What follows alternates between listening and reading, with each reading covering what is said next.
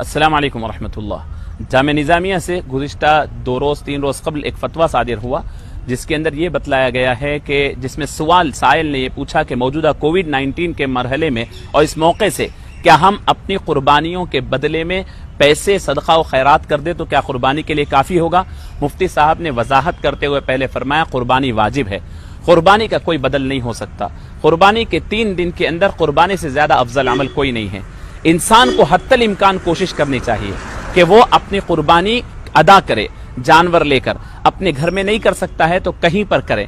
اگر نہیں ہو سکا اور تین دن مکمل ہو گئے، تو پھر آپ اس پیسے کو کہیں اور مصرف میں استعمال کریں۔ میں آپ کو یہ وضاحت کر دوں کہ بعض میڈیا کے پرسن اور پرنٹ میڈیا اور الیکٹرانک میڈیا میں بعض لوگ اس کو غلط سمجھے ہیں۔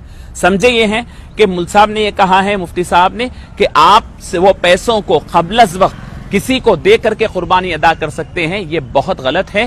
فتوے کا مطلب یہ ہے کہ آپ حت الامکان کوشش کریں۔ مطلب یہ ہے کہ گھر میں نہیں ہو سکتا، باہر باہر نہیں ہو سکتا، گاؤں میں اس جگہ نہیں ہو سکتا، دوسری جگہ میں آپ پوری کوشش کرنے کے بعد جانور میسر نہیں ہوا، کوئی چیز پاسبل نہیں ہوئی، پیسے رکھے ہوئے ہیں اور اس کے اوپر دس تاریخ، گیارہ تاریخ، بارہ تاریخ گزر جاتی ہے۔ وقت قربانی کا گزر گیا، اس کے بعد رکھا ہوا بکرا، جانور اور پیسے کیا کریں؟